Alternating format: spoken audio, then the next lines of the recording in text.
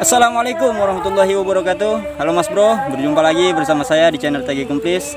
Gimana kabar kalian semua? Semoga selalu dalam keadaan sehat walafiat dan selalu diberikan rezeki yang berkah. Amin ya robbal alamin. Oke hari ini kita mau mancing lagi ya mas bro. Dan ini spot yang kemarin Cuman tempatnya yang berbeda mas bro. Tempat duduknya. Jadi kita tidak di satu tempat. Jadi kita pindah-pindah tempatnya ya mas bro. Tetap lokasinya satu mas bro Oke Mas Bro, kita langsung saja untuk mancing di sini. Jangan ke mana-mana, tetap di TG Gimpis ya Mas Bro. Saya mau nyoba nyari lubangnya dulu ya Mas Bro. Dan ini saya sudah siapkan rangkaian buat mancing lubang Mas Bro. Jadi saya menggunakan dua rangkaian mata kail Mas Bro. Seperti ini rangkaiannya. Oke, ini bumbu saya Mas Bro, pelampungnya.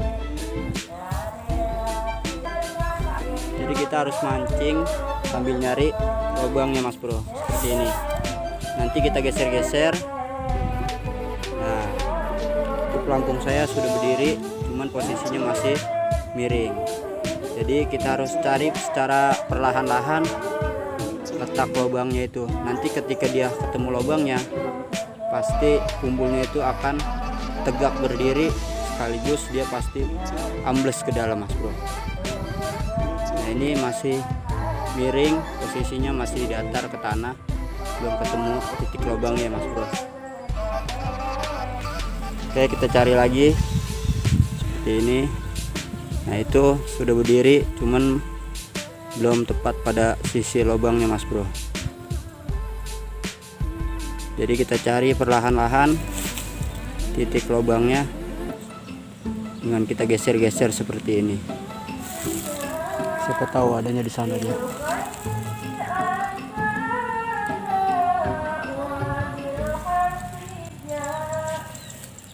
jalanin sedikit-sedikit hmm.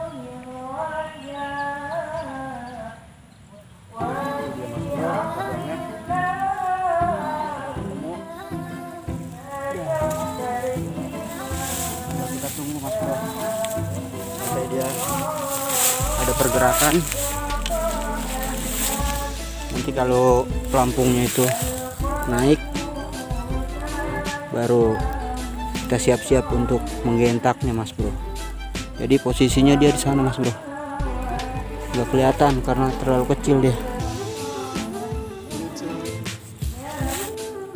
Untuk menunggunya ya sekitar 10 sampai 15 menit bisa sampai 3 jam karena memang dibutuhkan kesabaran mas. Bro mancing aduh hilang mana mas bro?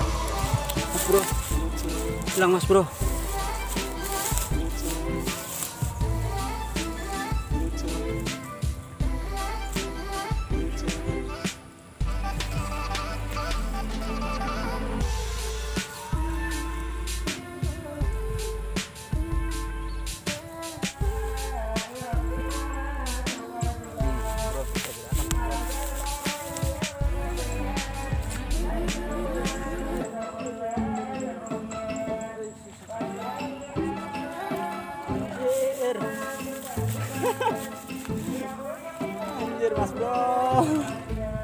Babonnya ketangkep yang kayak gini mas bro. Uh biang kerok.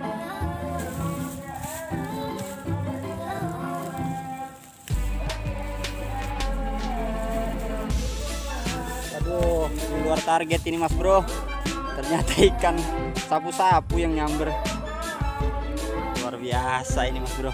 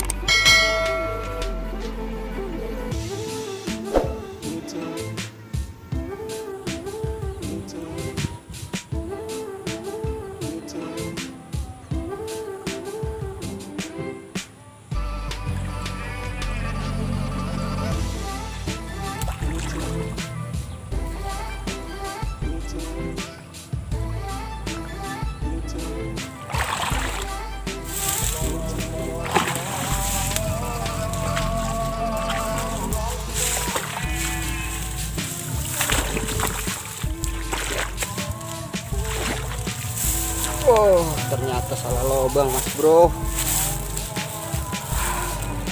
Lubang ikan sapu-sapu rupanya.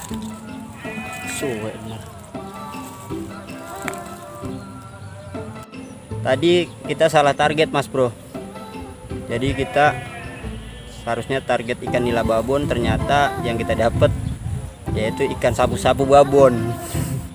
Luar biasa mas bro. Saya penasaran makanya saya turun mas bro saya turun saya lihat ke bawah ternyata sarang ikan sapu-sapu mas bro. Memang lubangnya itu akas mas bro. Tidak ada sampah tidak ada apa-apa. Mungkin dia salomeh kayaknya mas bro. Jadi tadi saya pas saya telusurin ada lubang yang dalam mas bro. Jadi bukan hanya sekedar apa lubang seperti kuali itu mas bro.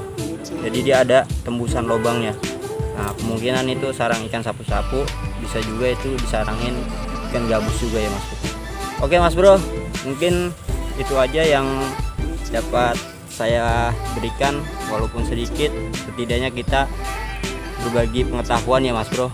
Ya saya juga sebelum masih belajar dari para suhu dari para teman-teman semuanya saya masih belajar mas bro. Jadi kita sama-sama belajar mengetahui bagaimana caranya mancing ikan yang ada di lubang. Oke sedikit banyaknya saya ucapkan terima kasih buat kalian yang sudah nonton.